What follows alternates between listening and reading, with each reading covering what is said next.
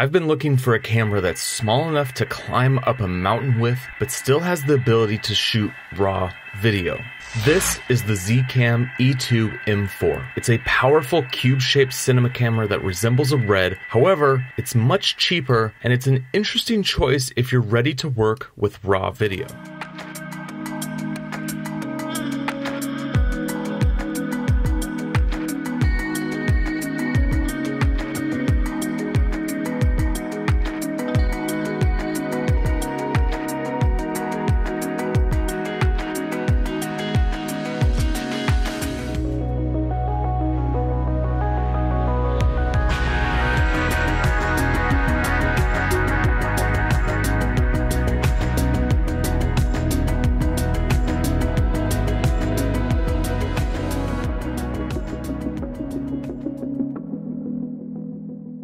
Welcome to Basecamp 3.0. So over the last couple weeks, I've been moving. That's why I haven't really been posting much on the channel.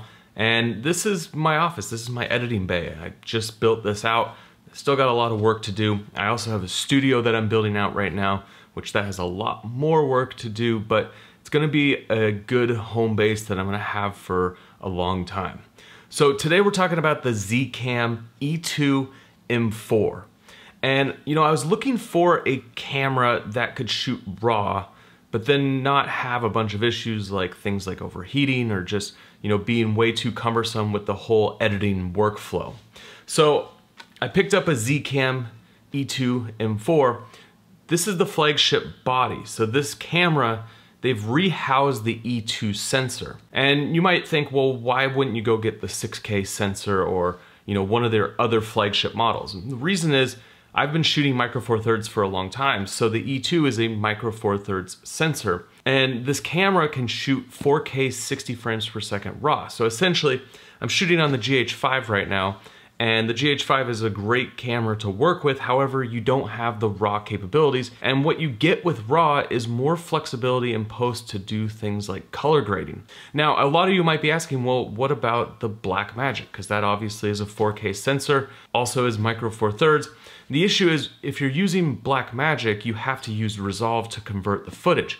With the Zcam, it shoots ProRes RAW over the HDMI cable to the Ninja V, and when you bring that into Final Cut, it just works. Like it's super easy to use. It's optimized for a Mac and Final Cut Pro workflow. So for me, being a Final Cut user, I didn't want to have to jump through a bunch of hoops and convert footage. I want to just bring footage into my computer and start grading right away. So before we get into some details around this camera and you know how it works and my thoughts around working with it, let's first dig into what is RAW. Without going into crazy detail of the technical process, think of RAW like a film negative. It's the footage that you're getting straight from the sensor without any additional processing. So you're getting the most amount of data from your camera, which gives you the most amount of flexibility in your editing software. More ability to edit and color grade, but it does come at a cost. So let's talk about three problems that I've found with this camera. One is the cost. It's $1,500 for the body. That doesn't include everything else around this camera. The second is that there's a lot of features on this camera that you might miss. So things like in-body stabilization, good autofocus, like this is a cinema camera, it's not a mirrorless hybrid camera, so you have to work with it a little bit differently. And then the third problem is that the data is just unbelievably massive. I mean, the file size that you get out of this camera is huge. It's any camera that's shooting ProRes RAW, but you're going to be dealing with a lot of data when working with the Zcam.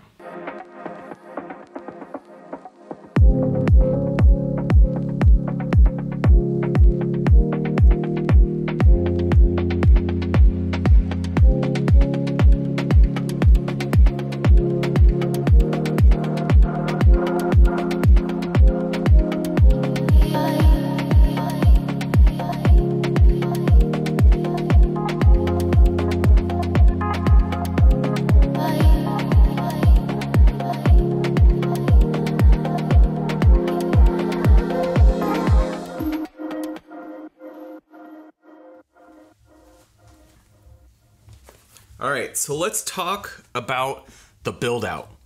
This is my camera fully kitted out with everything that I've found I need to make the Z-Cam work. And uh, we are now in the studio. Like I said, this space is a lot more rough. This is just a mess all over there. There's tons of storage. Like it's a great space, but I really got to build it out. And you know, it came with all these white cabinets, so I got to rip all this out and change it because I really want to have a much different look and feel. But for now, it's gonna work. So for the build out, let's talk about what you would need to make this camera work. And I'm specifically talking about what you need to make it work for ProRes RAW because the Atomos Ninja V, the monitor that you see on top here, is essential to be able to shoot ProRes RAW. Now you can shoot internally on this camera, you can shoot Zcam RAW, but again, like I said earlier, I don't want to deal with converting footage and you can't bring that footage directly into Final Cut and start working with it. However, when you are shooting internally, you still can get 10-bit ProRes, but it's not the full capabilities of this camera. If you're gonna shoot with the Z-Cam and you really want the most, you gotta shoot ProRes RAW. So the first part to the build out is your camera body, and the new flagship E2 is only $1,500. And what's great about having a flagship body size is that if I want to upgrade in the future, I can get the 6K and all of the attachments that I'm using will still work fine. I just need to switch out the camera body. Now, on the camera, you actually have a bunch of different screw mounts. However, it's easier to work with when you attach a cage. So this is the one from Kondor that's around $120. Because there's no monitor for the Z-Cam, you have to build one out. The Ninja V records ProRes RAW, it's super small, and I've been using it for a long time. Next, you're going to need SSD drives to record on, and you're going to need a lot of data. So, one terabyte AtomX SSD drive is about $400. Now, I also got a 256 CFast card just so that I could use the 4K 120 frames per second slow motion. That is something that you can't record on the Atomos, and you're going to have to record internally. Now, to mount things to your cameras, you're going to need a bunch of attachments like this monitor mount. And, you know, all the attachments that I bought have run me around $100. Also, I need a cable that allows me to transmit the signal properly and the one from Atomos is around $50. Now for audio, there's two solutions, and if you want to use an XLR, they have a 5-pin Lemo XLR, which is a weird attachment, so you have to buy converters for that. And I bought a few just so I could use this port, and they're around $50. Last, you'll need batteries and lenses, which it all depends on what you want to shoot on. And so all in, to make this camera functional to shoot ProRes RAW, the cost was around $2,500 and that's not including lenses. So for stabilizing the Z-Cam, I found that using the FeiyuTech 4500 with the ring is the most practical that I've worked with so far. I just have these little arms on top with these Zhiyun clips. So I can pop my monitor on and off, put the camera body on here. The best thing about the Z-Cam is that it's modular and you don't have to have the monitor on the camera, you can put it on the ring. So all the gimbal work that I've been doing, I've been using this setup and it's just super easy to pop on here, mount it really quick, and start shooting some footage. You're gonna have to use a gimbal if you want stability, which is part of the reason why I have two handles instead of one. So I have a handle on both sides, and that allows me to get a dual grip so that I can get more stable shots. Again, there's no image stabilization, so when you're using this, you're always gonna have a little bit of shake to your footage. With two handles, you can get the image stabilized pretty good, and then you add a little bit of stabilization in post and it looks like you know you're using a gimbal or you're using a image stabilizers. So the wood handles that I have are just these two wooden grips and they're from I don't mean what was that company? It was it's on the screen right now. And I used to use this shoulder rig and it came with these hand grips. And I like the fact that your left-handed grip is just a ball so you can use it in different ways. Now I'm gonna add links to all of this gear in a kit down in the description. And things like these just replace them with different styles of handle, but having a handle on both sides does make this a much more usable camera. But you, are gonna have to get creative and shoot it in different ways that you normally wouldn't with like a hybrid. You're gonna have to use your body and really brace yourself. But because of where the monitor is, you can do this and see the image nice and clear. So let's talk about using this camera and you know my thoughts around things that I'm discovering as I shoot more with it. When you're shooting ProRes RAW, it's actually hard to gauge where you should set your exposure levels. When you use the false colors or the zebras, then it might look like that you're getting a good image on screen, but when you bring it back to the editing, you're too overexposed or too underexposed. So Zcam provides a bunch of LUTs, and I actually found one that shows right where the image is clipping. And I've been using this as just a guide when I'm out shooting to see if an image is clipping or not. And when your image isn't clipping, you can bring that data back and you can recover it. So here's just a shot straight out of camera. And when it's color graded, this is what it looks like. However, if you are clipping, there's nothing you can do about it. And it actually creates this weird pink effect, which you can go through and tweak the footage. And I'm surprised. I've actually been able to recover some super overexposed footage and be able to actually make it look pretty decent. And when you're shooting RAW, especially on the Z-Cam, you wanna overexpose the footage as much as possible without clipping because the noise on this camera is pretty apparent. So if you're shooting underexposed, you're gonna get this noise pattern that just looks pretty awful. So you wanna get the brightest images that you can out of this camera and then dial it back. And that's the beauty of working in RAW is that you can bring all that data back. Now, like I said earlier, you have this weird five pin XLR adapter, but you also have on the right side an adapter for 3.5. So just your typical microphone input for you know, small microphones. So if you were to use something like the Rode Wireless Go, a Deity, you know, onboard shotgun mic, just plug it right in on the side. Now, one thing that's really cool that I haven't really seen a whole lot of people talk about is the fact that you can control each channel on the camera independently. If you are recording, say, an interview, and you don't know how much dynamics is gonna be in the person's conversation, you can record one channel higher and one channel lower so that you never peak on the audio. Or if you wanna use a Y-split cable and have two audio inputs, say you're doing an interview with two different people, well, you can control each channel independently. So by just adding a cheap Y cable, you all of a sudden have two channels that you can work with. Now, those channels take over the internal audio, and the internal audio is scratch. I wouldn't really use it for much. But if you did want to use the XLR on the back of the camera, then you can record one source on the XLR and one source on one of the channels that's coming in the side of your camera. So you actually do have a lot of control over audio, and that's one thing that I didn't really discover until I started digging around in the menu system. So let's talk about slow motion on this camera because one of the features that I particularly wanted to get this camera for was the fact that you can shoot 4K at 120 frames per second. Now this isn't RAW, you shoot in H.265, so the codec isn't the best to work with, However, you still can get a 4K image that's 120 frames per second. One thing that stands out to me though when you're working with this camera is switching between your ProRes RAW, and then your other file formats. Now what's really cool about this camera is that there is just a bunch of function buttons all over this and you can set these to be whatever you want. So I have F4 set up to load profiles. And so if I wanna switch from 4K 120 frames per second back to ProRes RAW, I will bring up the profile, hit okay, load it, and it's gonna take a little while. So one, two, three, four, Okay, now we're back. So it took about 15 seconds to load one profile to the other, and this is because we're switching formats. And then I'm gonna go in here, RAW over HDMI is has to be turned on. So 20-ish seconds to go between different profiles when you're going from RAW to, you know, a 4K 120 frames per second. So it's just something to keep in mind. You're not gonna be able to click, click a button and go right into variable frame rate if you are shooting RAW. It just takes a little bit longer because this camera does shut off in between switching modes, depending on which modes you're switching between. Now, one feature that's interesting is their wide dynamic range.